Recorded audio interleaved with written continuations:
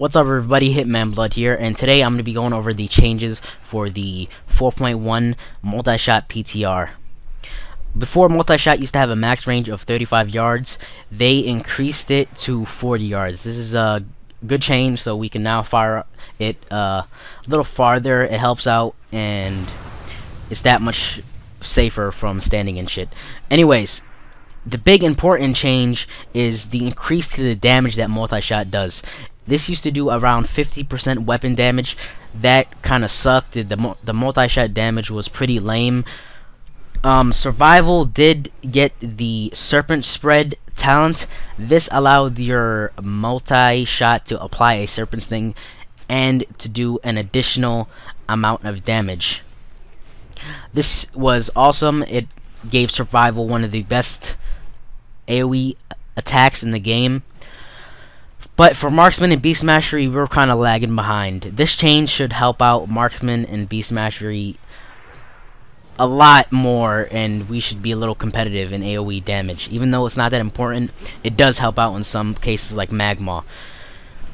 My concern is how are they gonna compensate survival because I'm not sure if they're gonna leave survival as it is because we're pretty much the top AoE class right now there might be some classes that are better than us, but as far as I know, we're doing really good.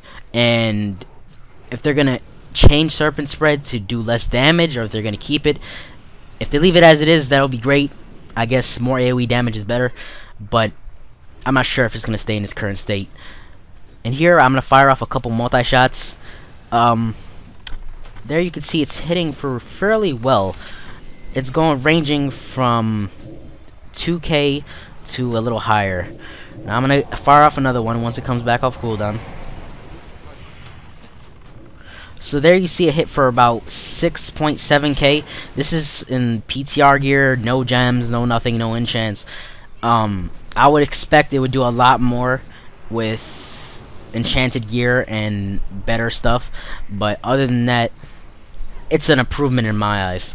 Uh, let me know in the comments below what you think about the new multi-shot. If you think survival will still be the king of AoE, and will Blizzard not nerf it, or will they nerf it right away? Anyways, this has been Hitman Blood, and until next time.